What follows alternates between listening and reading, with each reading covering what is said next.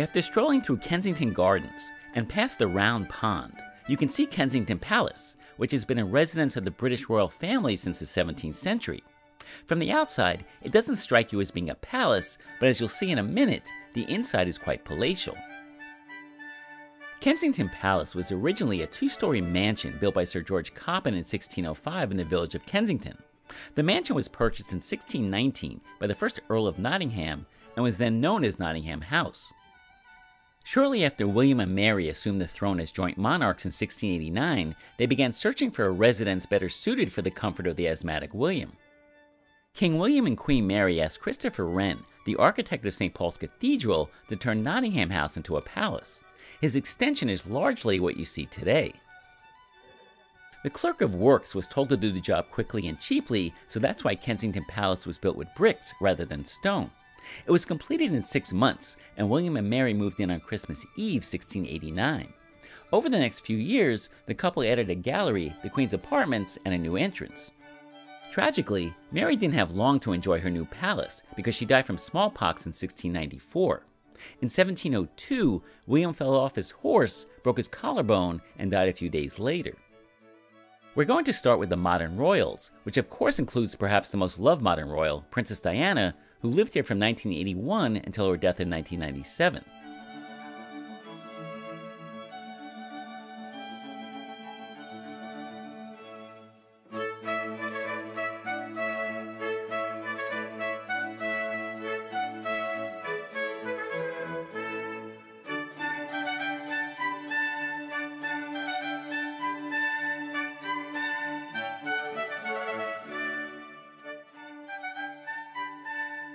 The King's Staircase leads to the King's State Apartments. It was decorated by William Kent and was completed around 1726. All of the elite climbed these stairs to visit the king, but could only enter if their clothes and jewels were acceptable to the guards. The King's Gallery was built in 1700 for William III. He would meet with his spies and plan his military campaigns here. In 1694, Robert Morden made the wind dial, which was attached to a weather vane on the roof. The wind dial was helpful to the king because he could see if the wind would allow an invasion fleet to come up the English Channel. William Kent transformed the gallery by 1725 as the green velvet was replaced by red damask. Kent and his assistants painted the seven large ceiling paintings, which showed scenes from the life of Ulysses.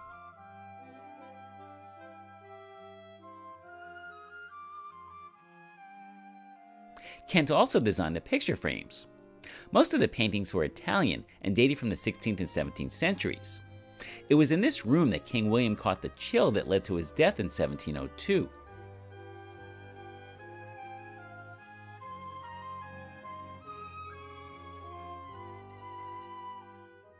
The cupola room is the most decorated room in the palace, and this is where George II and Queen Caroline hosted lavish parties.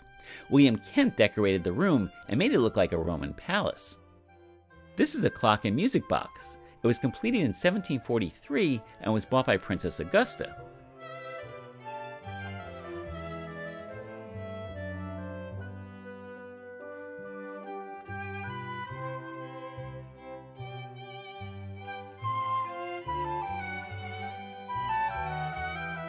The king's drawing room would be full of people who came to the king's parties in search of power and prestige. The king's bedchamber was next door, and at some point, he'd come out and make an appearance. Guests would form a circle, hoping to speak with him.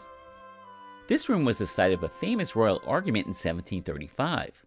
While King George was away, Queen Caroline reorganized the paintings and took down many of the Italian paintings that George loved. When he returned, he insisted that the Italian paintings be put back. The presence chamber is where the king would sit on his throne under a crimson silk damask throne canopy. Elite guests would be shown in to bow and kiss the king's hand.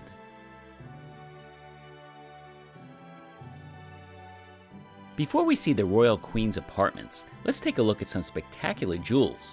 We're going to see Queen Victoria's emerald necklace, earrings, brooch, and tiara. We'll also see jewelry from Queen Victoria's granddaughter, Princess Louise, including her diamond tiaras.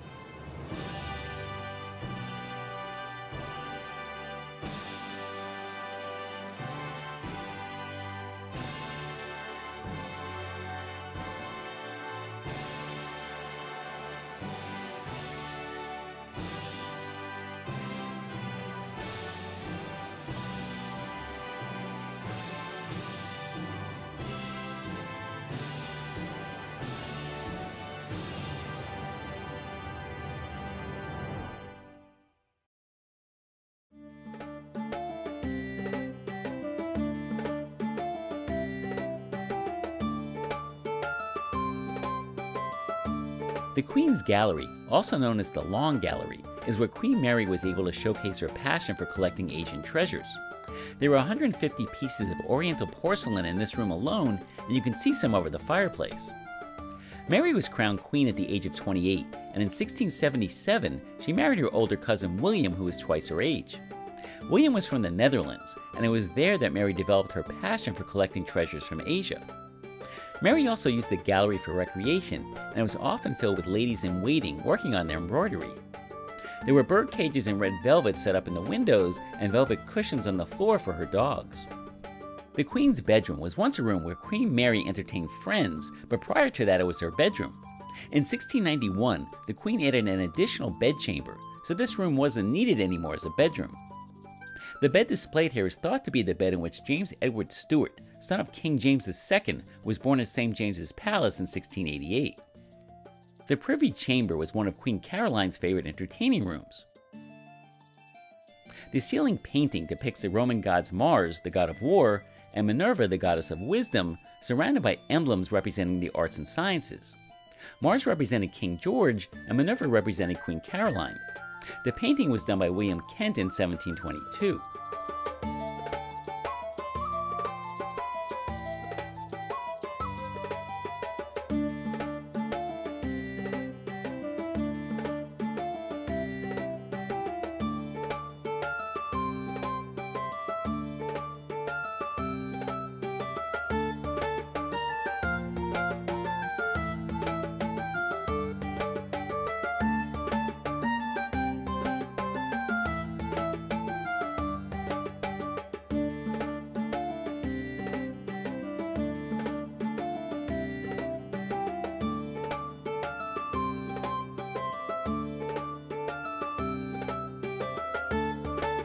The paneling in the Queen's dining room is from the 17th century. In this room, William and Mary would share private dinners of fish and beer, and Mary would take tea here. The portrait over the mantelpiece isn't of a queen or princess, it's of a much beloved housekeeper, Catherine Elliot. Catherine had been nurse to the infant James II, Mary's father, and later served as a court dresser and woman of the bedchamber to both his wives. Mary II had originally filled the Queen's drawing room with porcelain in 1694. In 1940, during World War II, a bomb damaged the room and destroyed the paneling, so it was replaced by the wallpaper that we see today. Queen Caroline's closet is a small room with a lot of history. Originally, it was William III's little bedchamber. George I used this room to store books, but they were removed after Queen Caroline discovered in 1727 many important drawings that were hidden in a cabinet. She put up 300 small paintings, miniatures, and embroideries in this room. By the end of the 18th century, they had been moved to other royal homes, and the room was converted to make dressing rooms for the Duchess of Kent and a bathroom for Princess Victoria. It was in this room that Queen Anne, Mary's younger sister, had a terrible argument with her childhood friend and confidant, Sarah Churchill, Duchess of Marlborough in 1711. As a result of the argument, Sarah and her husband were stripped of their high rank positions. Well, I hope you enjoyed the tour of Kensington Palace.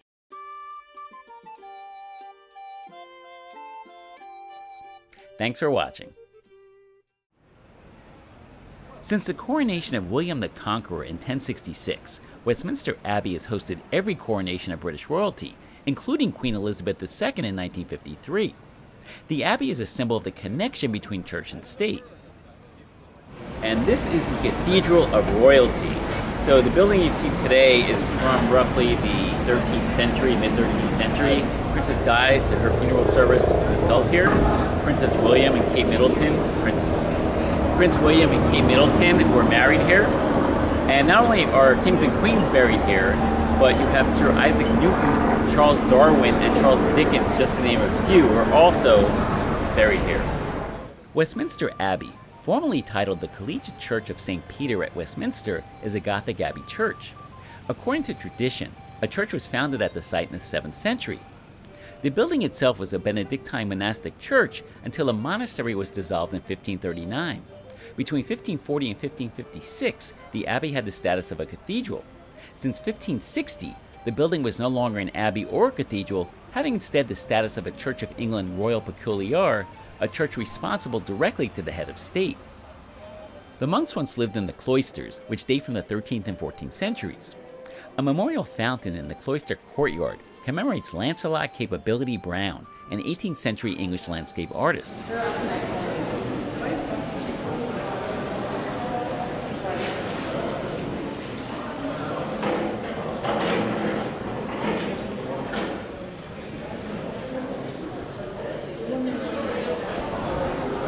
It's Lady Krummets. The cloisters contain the graves of several abbots of the Norman church and also some clergymen and officials of the church, such as organists and workmen. Also, some actors and actresses who were not allowed to be buried in the main church. And those people are buried underneath the abbey, so they're actually buried here. The remains are here.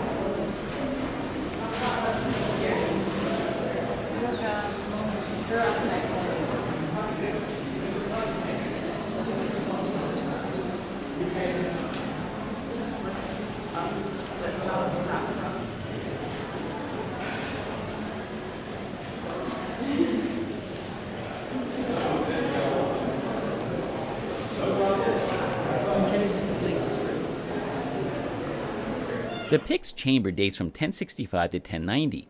The room was used as a royal treasury. In the early 14th century, its altar was a workbench on which the annual trial of the Pyx, which measured the silver content of their coinage, was carried out. The medieval tile floor dates from the 13th century.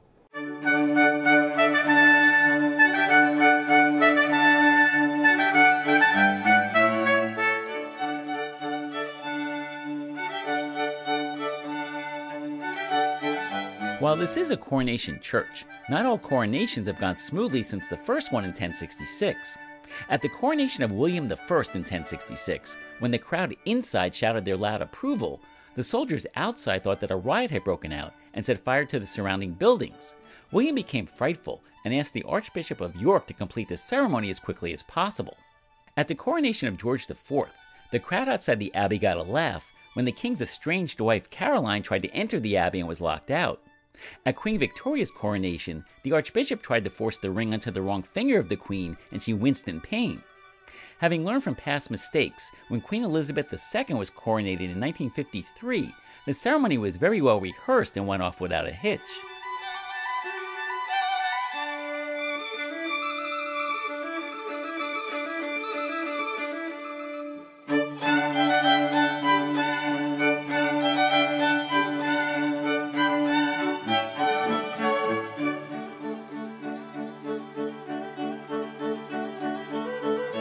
In the Middle Ages, the choir was the scene of a vicious murder. During that time, criminals could seek sanctuary in the abbey. Once they were inside, the law could not touch them. In 1378, 50 of the king's men ignored the rule of sanctuary and chased a prisoner into the abbey. One of the soldiers dispatched of the prisoner and a monk who tried to rescue the prisoner.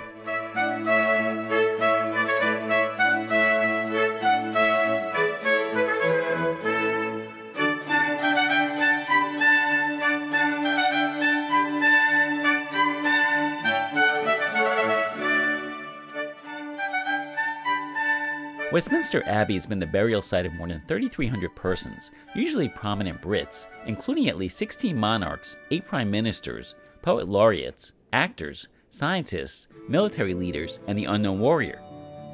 We are now going to see many of the beautifully crafted effigies, monuments, and tombs. Many dignitaries in the same field are placed together. There is a musician's aisle, poet's corner, where more than 100 poets and writers are buried or have memorials, a section for scientists, various areas for royalty, and more.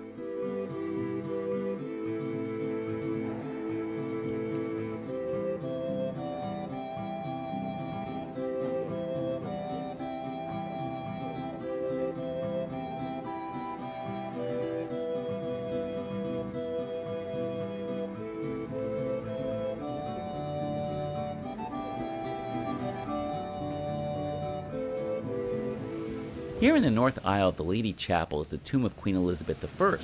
She was the daughter of King Henry VIII and Anne Boleyn, was born in 1533 and died in 1603. She succeeded her half-sister Mary I in 1558, and Mary's coffin is directly beneath hers.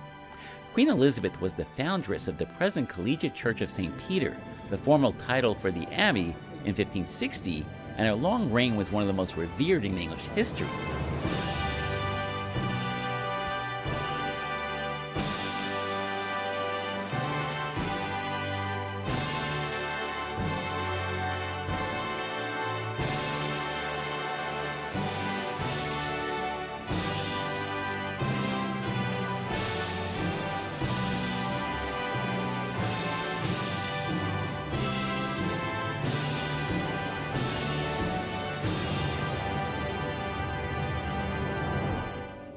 One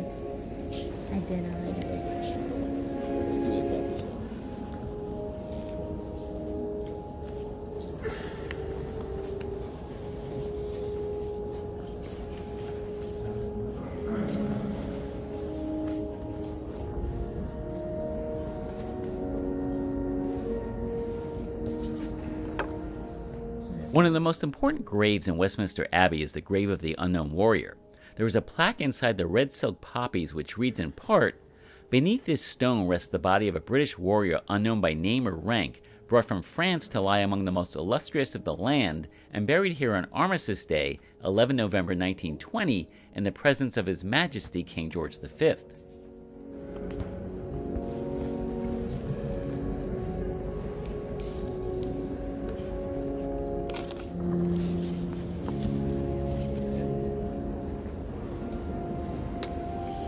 Sir Isaac Newton was an English mathematician, physicist, and astronomer who formulated the theory of universal gravity. His monument was unveiled in 1731. The monument is made of white and gray marble. Its base bears a Latin inscription and supports a sarcophagus with large scroll feet and a relief panel. The relief depicts boys using instruments related to Newton's mathematical and optical work. Oh. Charles Darwin was an English naturalist who was known for his theory of evolution through natural selection. He was buried at the Abbey shortly after his death in 1882. Notice how plain it is. Mm-hmm.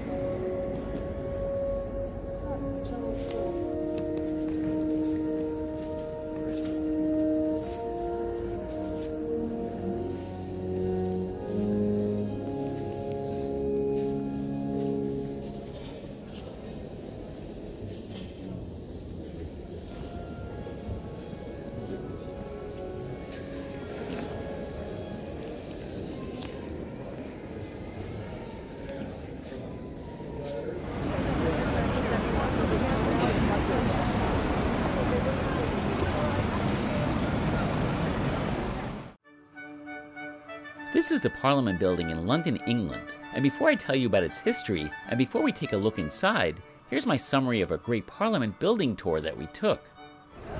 So we just finished the tour of the Houses of Parliament, which is also known as the Palace of Westminster. I thought the tour for some reason was going to be 45 minutes, but it was actually an hour and 45 minutes. But it was a great tour, highly recommended. Um, they have it every Saturday because Parliament is not in sessions on Saturday and that's the House of Commons and the House of Lords. Uh, get your tickets in advance before you come here. And there were a few things I thought were really interesting. Uh, one is the House of Commons was totally bombed out in World War II, and Winston Churchill uh, had it rebuilt, but he kept a small part of it where you can see the damage from the bombing. He just want to remind people of the horrors of World War II. The other thing that I thought was really fascinating was that the Prime Minister is not allowed in certain parts of the Parliament building and get this the Queen of England is not allowed in certain parts of the Parliament building.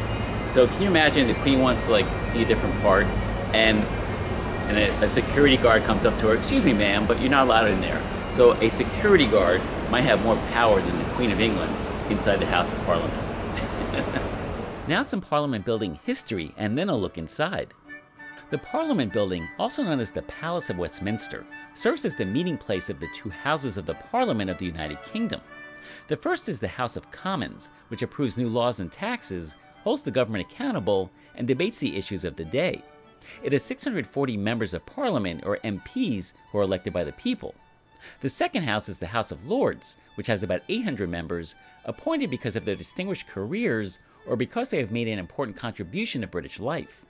Its role is largely formal, it approves laws, appoints life peers, and announces the government's plans for the year ahead at the state opening ceremony. This building is commonly known as the Houses of Parliament after its occupants. The name the Palace of Westminster comes from the nearby Westminster Abbey, and it may refer to either of two structures. The Old Palace, a medieval building complex destroyed by fire in 1834, or its replacement, the New Palace that stands today. The first royal palace constructed on the site dated from the 11th century, and Westminster became the primary residence of the kings of England until fire destroyed much of the complex in 1512. After that, it served as the home of the Parliament of England, which had met there since the 13th century, and also as the seat of the royal courts of justice. In 1834, an even greater fire ravaged the heavily rebuilt Houses of Parliament, and only a few medieval structures survived. The fire of 1834 was started when two workmen in the House of Lords threw a number of tally sticks, pieces of wood used for tax collection, into a furnace under the House of Lords chamber. The paneling above caught fire, and most of the Palace of Westminster was destroyed. Architect Charles Barry won a competition to rebuild the Parliament building with a design in the Gothic Revival style, specifically inspired by the English Perpendicular Gothic style of the 14th to 16th centuries. The remains of the old palace, except the detached jewel tower, were incorporated into its much larger replacement, which contains over 1,100 rooms, organized symmetrically around two series of courtyards, and which has a floor area of over a million square feet. Augustus Pugin, a leading authority on Gothic architecture and style, assisted Barry in designing the interior of the palace.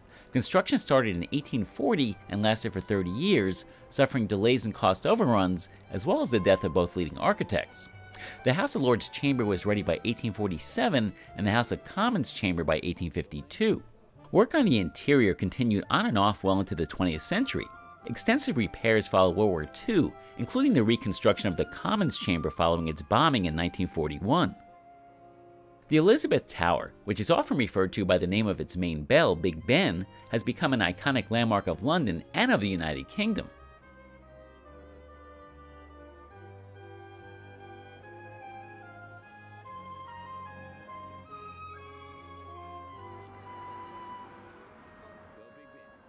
Westminster Hall is the oldest building here.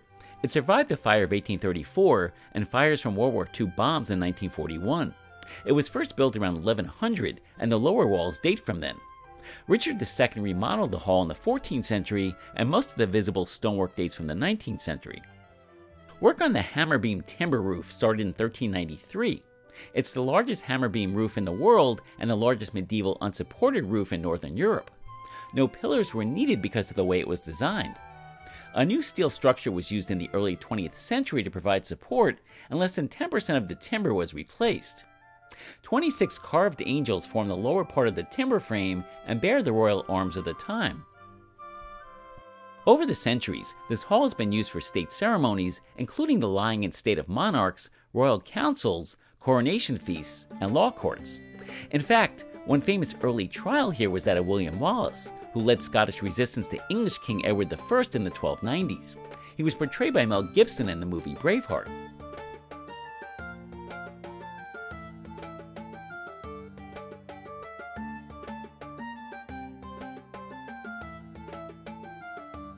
St. Stephen's Hall stands on the site of the Royal Chapel of St. Stephen's, where the House of Commons sat from the mid 16th century until the chapel was destroyed by the fire of 1834.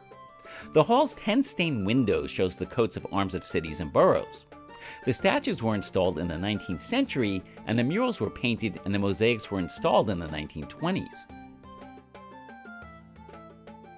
So as you can see, or not see, filming is prohibited everywhere inside the Houses of Parliament building, and photography is only allowed in Westminster Hall and St. Stephen's Hall. Having said that, we did get to see the House of Commons, the House of Lords, the Members' Lobby, the Peers Lobby, and the elegant Prince's Chamber, Royal Gallery, and Robing Room. If you do make it to London in the future, this is a tour you should not miss. Hi, this is Andy Teach, host of Andy's Awesome Adventures, and welcome to London, England. Now, in back of me is the iconic Parliament building, and of course, Big Ben. And in about 10 seconds, we're gonna hear Big Ben chime. So I've been looking forward to this for like weeks, months. 10, 9, 8, 7, 6, 5, 4, 3, 2, 1.